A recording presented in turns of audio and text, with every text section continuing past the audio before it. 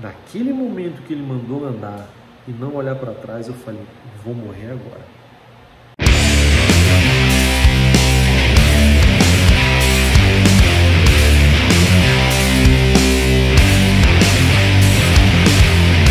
Fala, seus presa, beleza? Como é vocês estão? Bruno Ganem, rapaz, quero contar um negócio pra vocês. O que é que tá acontecendo com o Brasil, velho? Bicho, eu não vou sair mais de moto, não, na moral. Não tem como sair de moto, velho. Eu tô com medo, brother. Eu tenho uma bichinha velha ali, cara. Minha motoca é uma motoca velha, mas eu tô com medo de sair de moto, velho. Tá cada dia mais perigoso. A gente sabe que o Brasil já tem um histórico de violência de muitos anos, de décadas. Tivemos quatro anos de redução da criminalidade, isso é fato comprovado. Podíamos sair na rua com segurança. Lógico, tinha violência, tinha, mas era reduzido. Né? Cara, 2023 veio para ser o pior ano da história, velho. E tá só no começo. Tá só no começo. Eu queria contar uma história para vocês que eu acho que eu nunca cheguei a comentar para ninguém daqui no, no, meu canal. Em 2011, eu tinha uma moto, uma Twitch amarela, que eu comprei na época que eu morava no Pará.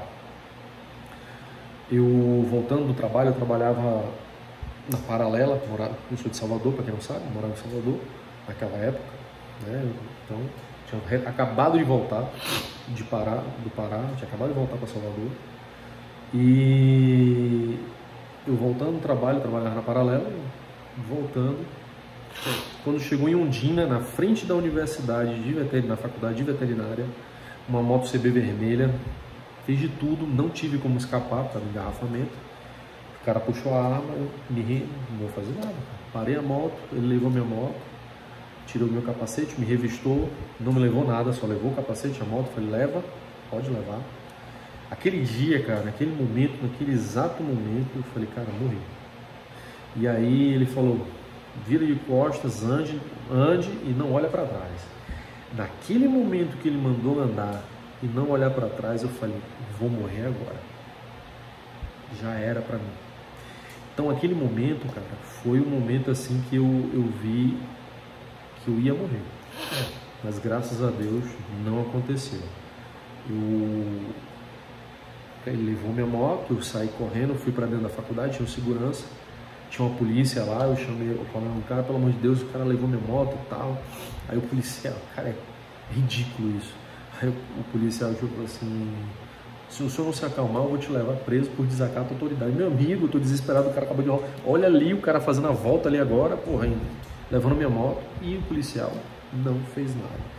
Essa é a polícia de um governo de esquerda. Desculpa ter que falar isso, cara, mas é inevitável.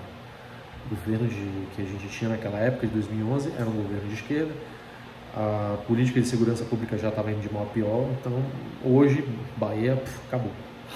Então, velho, uma das coisas mais prazerosas para nós motociclistas, que é pegar a nossa moto, sair para poder passear, se divertir, curtir, hoje está se tornando uma das tarefas mais desafiadoras porque a gente tem medo de sair com medo de, de, de, de, de não voltar vivo, porra. É uma situação que eu não sei, eu fico imaginando, né, né, com base no né, todo o contexto, né? Como é que a gente poderia diminuir isso? Como é que a gente poderia reduzir essa questão da, da criminalidade? Até porque o, o, o bandido, para ele roubar, ele tem que ter alguém que compre né, as peças, tem que ter um comércio para alimentar. Só que esse comércio vem dos próprios motociclistas, velho. Né? Que acaba comprando uma moto que muitas vezes não tem condições de manter, aí compra a peça roubada para poder. Então o próprio motociclista ele mantém o comércio ilegal. Aí eu já pensei em uma questão que se, a gente, se houvesse uma redução de, de impostos, Lembrando que tivemos quatro anos de redução de impostos e faturamento elevado de vários aspectos, se do superávit. Tem que falar. Então vamos lá. Vamos lá. Imagina, cara. Se a gente conseguisse colocar as peças da moto originais, de fábrica, com garantia, com preço, vamos lá, cara, 50 reais um pouquinho mais caro que a, a peça roubada.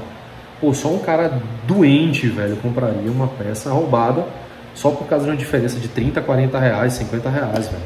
Você tá entendendo? Então, o brasileiro, o caráter do brasileiro é foda. Infelizmente, essa é a realidade. Então, como a gente sabe que isso não vai acontecer, até porque, só para você ter ideia, pagamos 44% de impostos em cima dos veículos. É um dos maiores impostos que a gente pode pagar nos veículos. Então, já se torna uma coisa bem complicada. Então, política de segurança pública, esquece, não vai acontecer. Não se esqueça que a gente tem um ministro da Justiça que ele vai na maré sem segurança, né, sem policiamento, de peito aberto, assim como ele recebe esposa de narcotraficante. Então esquece segurança pública, velho, que não vai acontecer. E mesmo que aconteça, o cara que rouba, o cara que é pego, em 24 horas ele está solto. Ele não é preso, velho. Não existe mais justiça. Então a gente vive um escárnio total. A gente vive um descaso total. A gente está entregue à criminalidade como nunca visto antes e escancarado até demais, né? O Estado hoje se tornou sócio. Bom, eu eu fico vendo as coisas, eu, fiquei, eu vi agora né, um vídeo de três caras na Big Trail, uns caras andando e tal. Um, um, um tava filmando, o que tava filmando, filmou o colega que passou já com os bandidos atrás. Aí ele parou, fez a volta, andou na, na, na, na contramão e tal. E de repente ele seguiu, quando ele seguiu, infelizmente ele viu que o amigo tinha perdido a moto. O amigo e a esposa. Graças a Deus foi só a moto. Mas de qualquer forma, cara, é um bem que você ou você vai continuar pagando, que muitos estão pagando, estão pagando financiado. Tá aí uma sugestão. Por que, que a gente não poderia criar uma lei, né?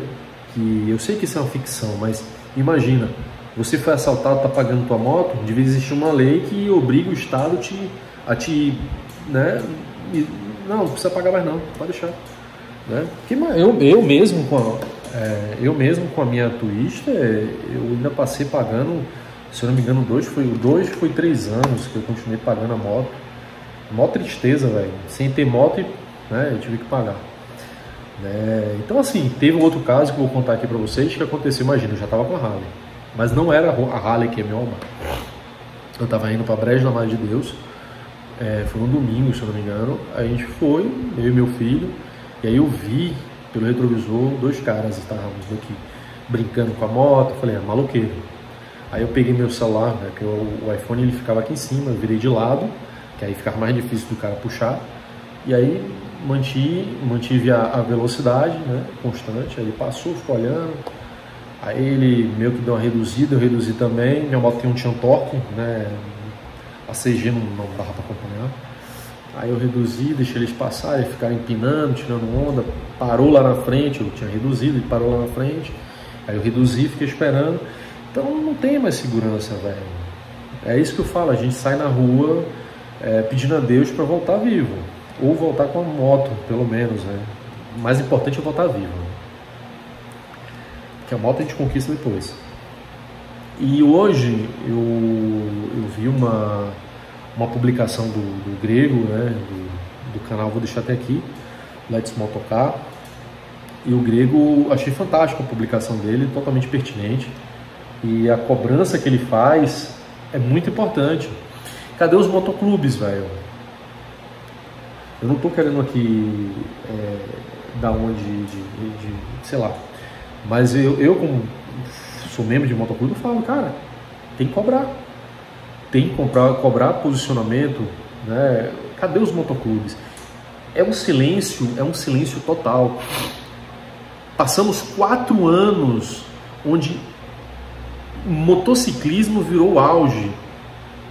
Chegou a ser ganhador de, do Guinness Book do maior encontro motociclístico que existiu na história do Brasil. E hoje a gente só vê motociclista falando de cerol. Cara, cerol vai ser o ano inteiro. E eu acho que o povo tem que entender que não é somente essa a pauta de motoclube não, velho. Motoclube tem que falar sobre todo tipo de pauta. Tem que falar sobre pauta sobre segurança pública, principalmente é o caso que está acontecendo. Tem que participar de audiências públicas, tem que cobrar o Estado, tem que cobrar o governo, tem que cobrar sim A gente tem que ter um posicionamento firme quanto a isso. O motoclube ele tem que ter essa pegada. Afinal de contas, antes de você ser motoclube, você não tem que ter uma moto, pô. Então como é que o teu membro ele, ele vai, na tua, vai, vai permanecer no motoclube se por acaso ele perder a moto? Se isso não for de interesse dos motoclubes, mas não, a galera só quer saber de churrasco, só quer saber de defender é, pautas progressistas, quer defender a turma woke, estou mais preocupado dos, com todes do que com qualquer outra coisa.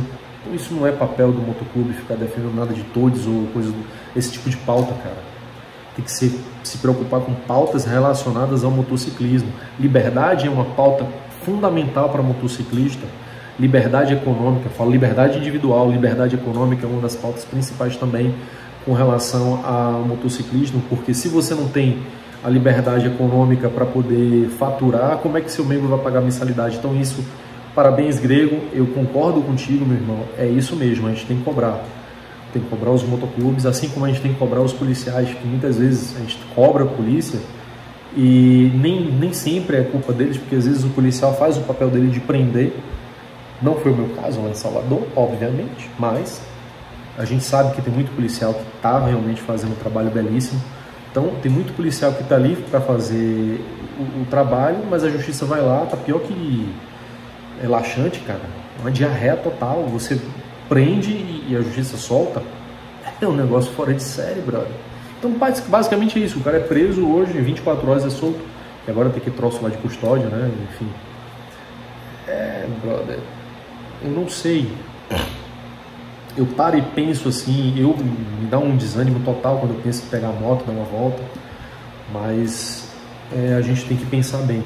Outra coisa que eu fico falando aqui o tempo inteiro, todo mundo fala, ah não, porque o Nordeste tá bom para rodar.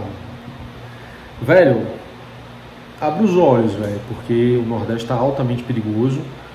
É, aqui em Pernambuco tá mais ou menos, ainda dá para você dar uma volta de moto, mas a depender do, do tipo da moto, você tem que ter uma preocupação muito grande. Até isso, velho, a gente tem que, sabe, é complicadíssimo. Então, você vê em São Paulo, você não pode deixar a Harley na rua vacilando, que roubam, é, furtam, né? Ou quando não é isso, eles pegam o, o, os punhos, roubam os punhos. É complicado, velho. É complicado. Então a gente tá. Não existe mais aquela moto que diga assim, não, não existe. Aquelas motos pé duro, né? Que são aquelas gambiarras de moto que aí dá. E pior de tudo, que, que, além de tudo isso que eu já falei, acho que das piores coisas é quando você não paga o documento da tua moto e ainda tem o, o risco de perder para o Estado, né? Você trabalha para ter a moto e você, como aconteceu o cara que, pô, coitado, fica muita pena dele. O cara indo trabalhar, bicho, o policial foi lá, tá errado o polícia. Aí o policial foi lá, tem que entender, nem todo mundo é vagabundo, tá? Não é todo mundo que é vagabundo. Até porque vocês, eu não digo só a polícia não, mas a Polícia Federal, Polícia Rodoviária Federal, o Exército principalmente, porque, né, a gente tem um presidente que é ladrão, né? Todo mundo tá aí achando que o presidente é ladrão. Então, cara, o cidadão indo trabalhar, a polícia vai lá e faz o que faz, o cara gritando lá, eu vou trabalhar.